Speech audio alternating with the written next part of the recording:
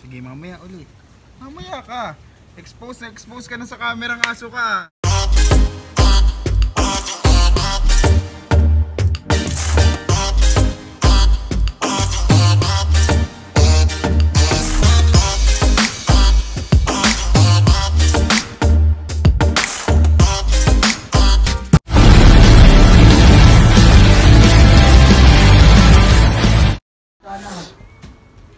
Hello guys! So yan, kita nyo naman yung aking pormahan. Nakasaklob ako ngayon. Mama, kaway ka ba? Oh, kita nyo mama ko. So, kita nyo yung akin, nakakap ako, katatapos ko lang magturo. And then, ngayon, dahil ilang araw na naulan, ngayon lang uminit. Kita nyo, ang ganda ng araw, ganda ng paligid. So, magbibilad ako ngayon ng palay. Ilang araw ako laging nasa kwarto. Try nating magbilad ng palay kasi wala na kaming makain. Bigas na nga yung aming ano eh. Palay na nga yung sasaing namin eh. Baka walang pampabayo, saglit lang. Wait lang, paano ko umpisahan to? Pakukuha man pala. Ito. Ang hirap mag ano. Wala bang pwede ako makuha ang cameraman dyan? First time ko mag video ng ganito eh. so. Yan. Meron tayong isang sakong pali ngayon. Hihigitin ko. Palabas! Tabi! Mga asong to. Ah! Ang hirap naman mag-video ng ganito. See, yung mga aso kong kalaro. Tuwan-tuwa sila sa akin eh. Wala akong pagkain, papakainin ko kayo ng palay. Aray ko. ano ba? Oh, oh, tingnan nyo muna yung mga aso ko. Dali, oh. Oh, kaway ka, kaway. Ayan yan. Yan, dali, dali, dali. Yo, oh, oh. Ito pa, Gigi. Oh, mamaya maglalaro muna tayo. O yan. Yan po yung aking mga aso, magkakamuka. So dahil wala tayong biladan dito sa aking kusina, yan, hindi pa siya tapos. Hindi pa tapos yung kusina ko, kaya yung cover ko ng pinto, eh, kasi dati may tindahan ako na feed store. So meron akong pangalan doon nung feed store. Siyempre, pag may-ari ko dati, eh may pangalan ko na yan, nandito yung pangalan ko. Ginamit ko muna itong pangharang ng pinto kasi kinapos ako ng pampagawa nitong nakaraang buwan. So mas importante makasurvive muna ngayon. Gagamitin ko to para bilada ng palay ko kasi sayang yung init. Ano ba? Kinakalmot ako ng mga aso. See? Dito ako sa aking harapan. Magbibilad muna ako ng palay kasi sayang ang init. Ano ba? ang hirap naman mag-cameraman. Ha?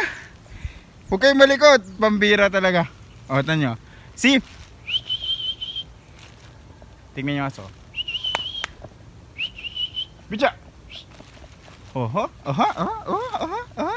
Bicha, bicha. Oho, aha, oh, oh, bicha, bicha, bicha. Jump, bicha, jump. Bicha, bicha. So, yan po ang aliwan ko. Pag expose masyado yung mata ko sa laptop sa pagtuturo, nandito yung aking harapan. So, mas ma- mas maganda kasi guys na pag expose ang mga mata nyo sa radiation, sa laptop, cellphone, you must look at the green. Green, kailangan kasi nakakaaliwala siya ng mata. Tandaan nyo yan. And then, ano gagawin natin? I-steady ko muna yung camera ko habang ginagawa ko yung pagbibilad.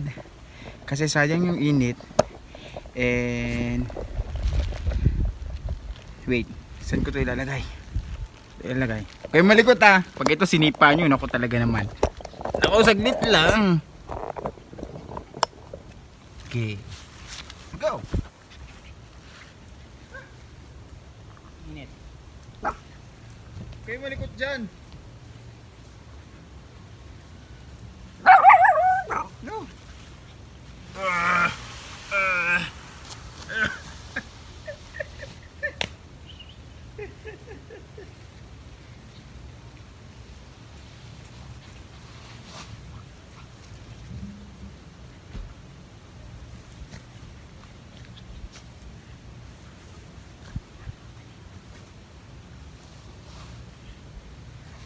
Where?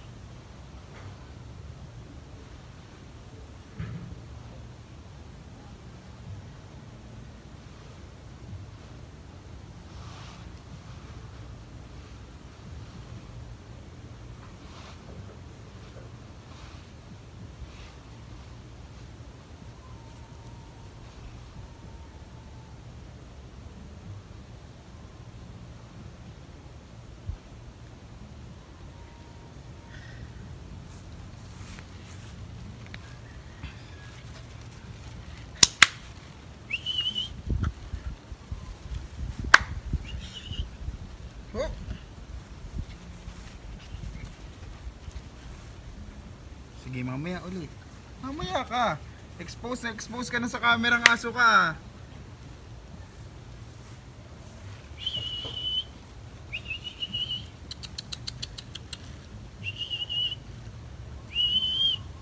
Nagugutom yung isa, ha?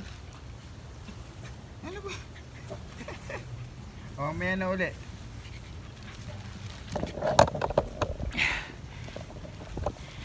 Okay, tingnan nyo. Nakabilad na siya. Yan.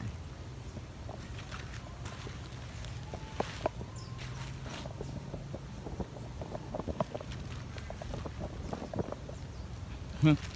Lakas ng, lakas ng araw. Yan. Kasi guys, ilang araw na umuulan dito sa amin kasi gawa ng typhoon. So ngayon, sayang kasi talaga yung init kaya kailangan ibilad natin yung palay.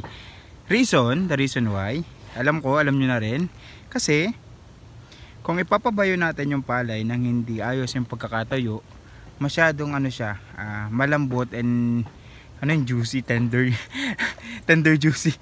Masyadong malambot yung pagkapalay niya so hindi siya magiging maganda. So kailangan natin ibilad nang sa ganun ma-assure natin yung tamang um, ah, tigas ng palay.